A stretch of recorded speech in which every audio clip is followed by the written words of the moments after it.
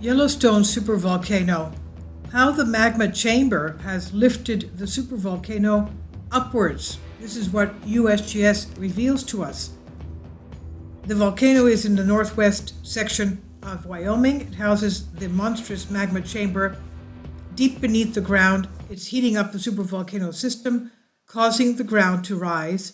The U.S. Geological Survey reveals to us Yellowstone supervolcano has had super eruptions at least three times in its lifetime, the most recent being around 640,000 years ago.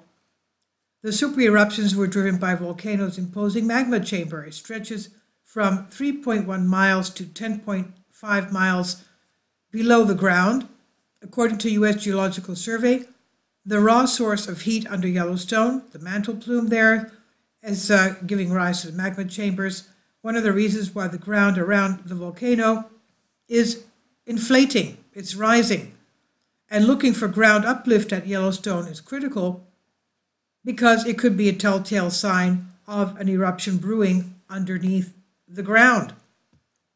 USGS said because of the hotspot that lies beneath Yellowstone and that supplies the heat needed to generate this magma, the Yellowstone Plateau sits at a higher level than its surrounding areas. So, in essence, the region is buoyed upwards by the heat beneath the surface. The ground around Yellowstone has also risen at the end of most recent glacial periods, dubbed the Pinedale Glaciation. About 22,000 to 13,000 years ago, during the last ice age, the Yellowstone region was covered in a thick sheet of ice. And once all of this glacial ice melted, the released pressure on the supervolcano caused the ground to rise. USGS said after melting of the ice, there was some uplift due to rebound. Basically, removal of the ice load caused the ground surface to buoy back up again. And this is done. This has been done in a lot of other areas, and volcanoes, of course, buoying back up again. Finally, support my Patreon account.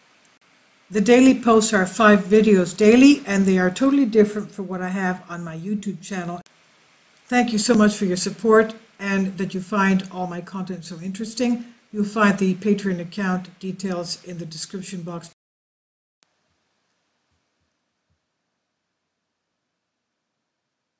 This is actually still occurring in places like Greenland and Scandinavia, which were covered by epic ice sheets during the last major glaciation, but it stopped Yellowstone uh, thousands of years ago. Interestingly, there were no eruptions of magma after the Pinedale glaciation, the geologists explain. Studies of glacier melting in Iceland suggest that unloading due ice removal uh, can cause melt formation and magma ascent, resulting in an increased number of volcanic eruptions. Another effect that contributes to the movement of ground at Yellowstone volcano is tectonic activity of the North American tectonic plate. Yellowstone volcano is located in a hotspot of activity near North American plate and the Pacific plate along the coast of West America. And the plate drifts away to the southwest. The movement encourages the heat and molten rock to shoot upwards. Uplift and subsidence of a volcanic system like Yellowstone can go on for tens of thousands of years, hundreds of thousands of years, before an eruption occurs, they said.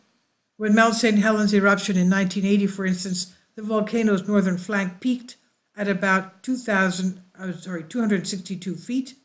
In another case, however, a volcano like Long Valley Caldera in California has been rising at different points in the 1980s and 1990s without blowing, and is still inflating now. USGS said the Campi Flegrei caldera near Naples, that's near Vesuvius in Italy, had two episodes of uplift during 1970 72 and again in 1982 to 84. The coast of Pozzuoli with the caldera rose about 67 inches and then 72 inches out of the ocean during those two intervals. Each time, some subsidence followed the uplift, but no volcanic eruption has occurred. Thankfully, there's no sign suggesting Yellowstone will erupt again in the near future. The supervolcano last blew 640,000 years ago, 1.3 million years ago, 2.1 million years ago. and USGS explains there's no evidence that a catastrophic eruption at Yellowstone is imminent, and such events are unlikely to occur in the next, next few centuries. The supervolcano witnessed three major caldera forming eruptions on its volatile past.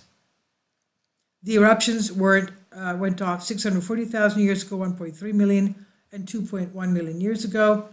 The most recent blast, the Lava Creek eruption, formed Yellowstone's 34 miles by 45 miles caldera that we see today. Since then, there have been roughly 80 non explosive eruptions. This is on Express UK by um, Sebastian Kettley. Please leave your comments and thank you for your support.